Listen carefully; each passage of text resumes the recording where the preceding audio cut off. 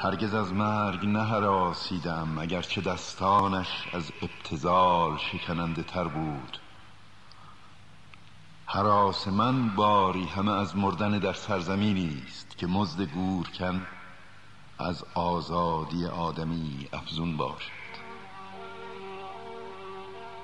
جستن یافتن و آنگاه به اختیار برگزیدن و از خیشتن خیش بارویی پیفکندن.